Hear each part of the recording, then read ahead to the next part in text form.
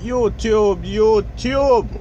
This is another one, man. Since since a lot of new drivers will be going to a company that have a Qualcomm, and also since they're talking about everybody going to Qualcomm at the end of the year, I decided to just give you a quick overview of what the Qualcomm look like and some of the things you could expect to see on the Qualcomm. Now this is a home screen. Once you log in, once you log in, the company will give you a login. You'll have like um you log in with your driver ID or your driver code.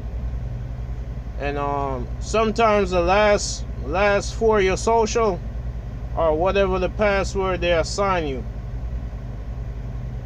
Now some companies you gotta put a four in front of your driver code than the last four your social.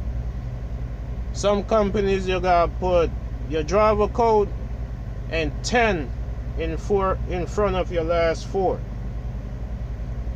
But once you log into the Qualcomm, and the way you log in, you go to driver login. And right here, once you go to driver login, I'm already logged in. So that's why it's showing active. But if I wasn't logged in, that's where you would go and log in, put in your driver code and your password, and they'll bring you to this screen right here. Now, if you're running team, it will be two person on the screen right here, two driver. One will be active, the other would be inactive. And then whenever you switch drivers, the other driver will become active and so forth. And the way you switch drivers, you go to change.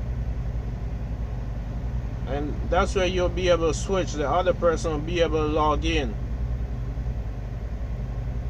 If you ever get lost browsing around the Qualcomm, just go back to home and it bring you back to the home screen.